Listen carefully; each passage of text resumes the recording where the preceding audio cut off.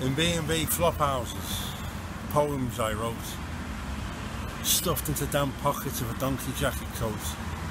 Poems about building sites, too much beer, being far from home, despair and fear. I read them to comrades who all nodded their heads.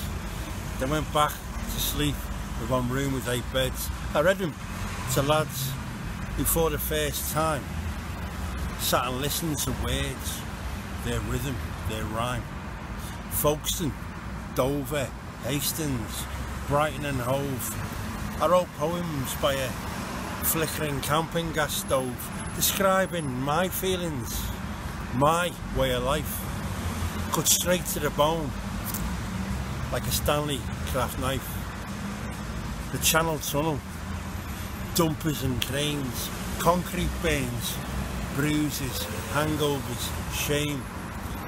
Days without eating, nights full of drinking, hours on the shovel, digging without thinking. Then along came the books. I started reading at night, discovered poetry by wind up torchlight.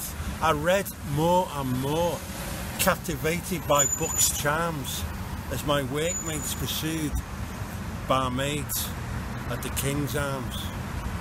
Then one day, MacNamara, with his belly full of beer, came looking for me, called me a queer. Ooh, reading and writing. It's not for the likes of us. I agreed begrudgingly with this back end of a bus. He helped me gather up my words and my books into a couple of barrows like scrap metal crooks. We wheeled them over so we burnt the pallets, electric cable for the copper and broken slab laying mallets.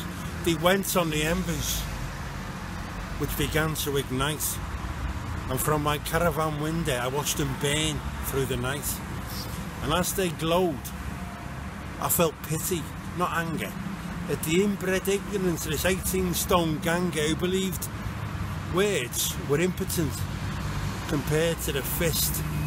Our lives were mapped out, digging trenches, getting pissed.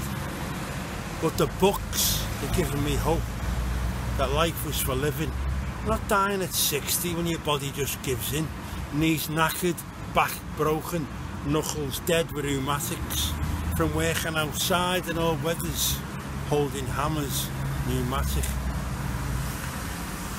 Days later, on a Portaloo, MacNamara settled down with a copy of Mayfair and a hard-on to pound.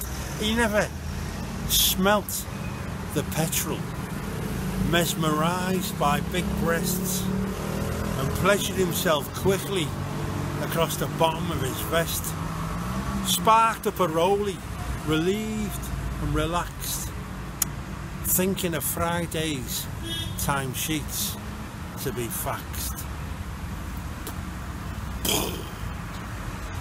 We heard the explosion, looked to the sky, saw Doctor Who's TARDIS go flying by.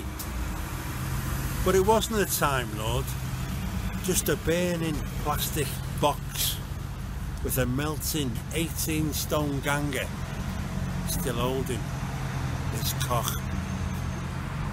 MacNamara was identified by the fillings in his teeth and buried by the council just outside Haywards Heath. If I hadn't continued writing, MacNamara's threats defied, no one would know about him or the way that he died. Books and words are everything. They free the mind and they lift the anchor. And let me tell your tale, MacNamara, how you lived and died a wanker.